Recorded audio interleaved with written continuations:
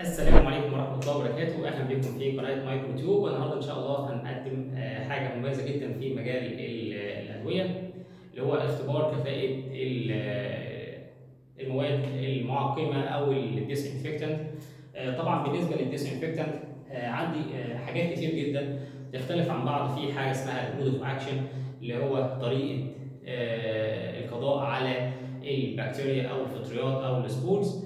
وطبعا لازم بتعمل rotation ما بين آه، كل disinfectant بتعمل study لكذا disinfectant وبعد كده بتعمل rotation لل disinfectant دي على آه، مدار كل أسبوع مثلا أو كل أسبوعين أو كل شهر على حسب ال study اللي أنت عاملها. آه، وطبعا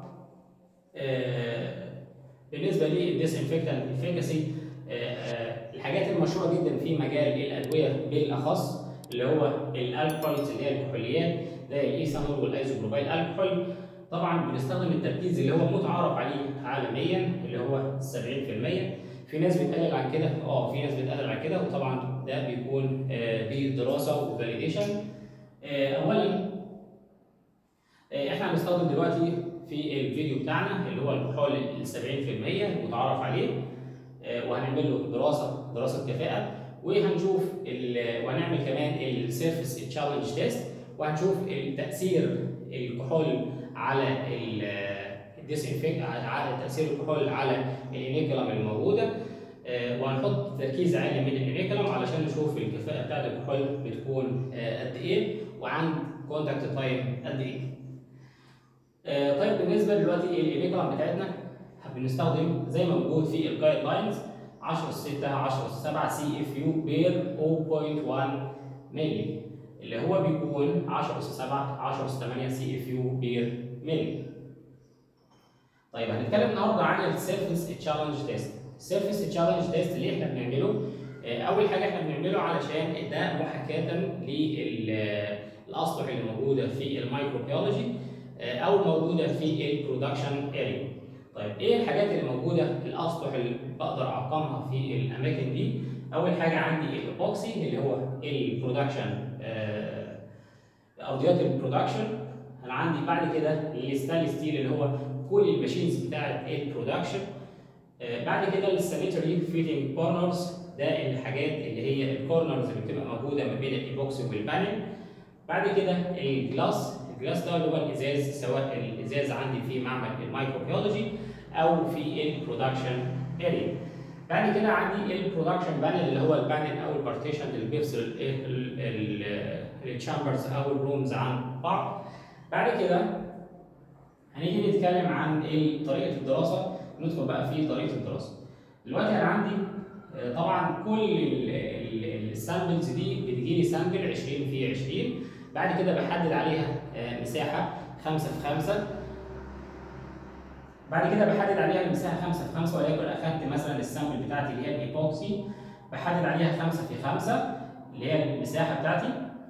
آه، ال- ال- الجزء ده بستخدم عليه أو بشتغل عليه بطريقة ال surface challenge. دلوقتي أنا عندي بستخدم أعلى تركيز من ال CFU اللي هي 10 اس 8 بقسمها على 3 بتطلع 3 في 10 اس 7 بعد كده اللي هي 10 3 في 10 اس 7 اللي هي 3.3 في 10 اس 6 لو عملتها بال calculator هتطلع 3.3 في 10 اس 6 وده التركيز اللي أنا هشتغل بيه.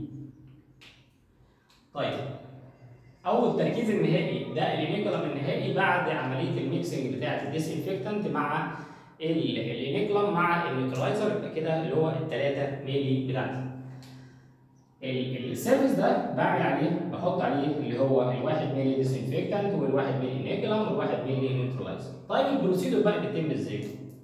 ال procedure أول حاجة بعمل ال negative control بتاعي.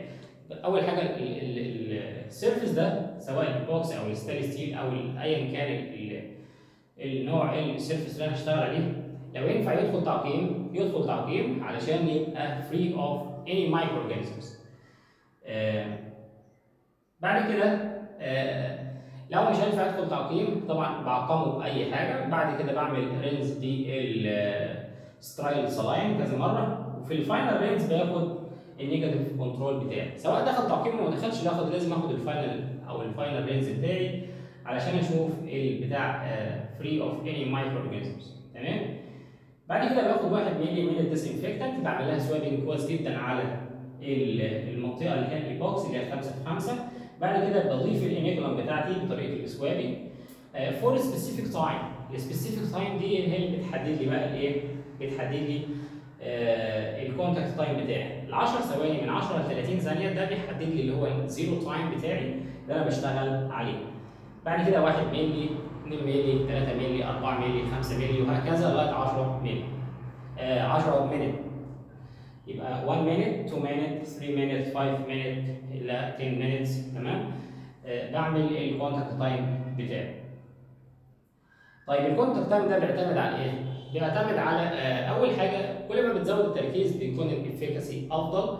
وطبعا بيجي عند مرحلة كده كل ما بتزود التركيز عن المرحلة دي ال efficacy بتقل فالأفضل تركيز عندي اللي أنا بشتغل عليه اللي هو ال ideal concentration اللي هو 70% في ناس بتقل عن كده علشان تعمل cost reduction في ال disinfectant بيوفر 5 مللي في كل تحضيره فده بيوفر معاه آه وده طبعا لازم يحتاج دراسة وال validation آه بعد كده add 1 مللي of neutralizer swabbing بنضيف ال 1 مللي neutralizer بعد ما ضفت ال disinfectant وال inoculum بضيف ال neutralizer swabbing علشان اعمل stop لل للاكشن بتاع ال disinfectant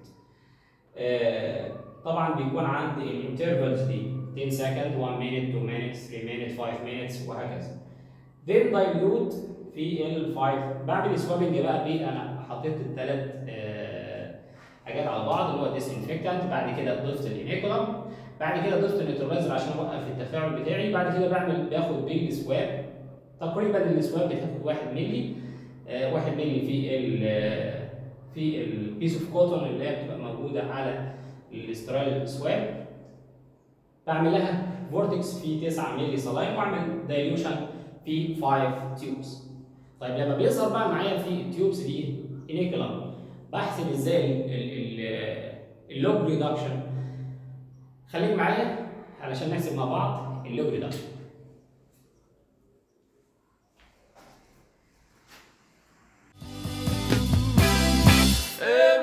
it, yeah.